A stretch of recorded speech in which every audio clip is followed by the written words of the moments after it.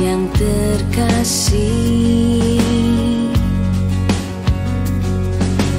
dirimu yang ku tunggu.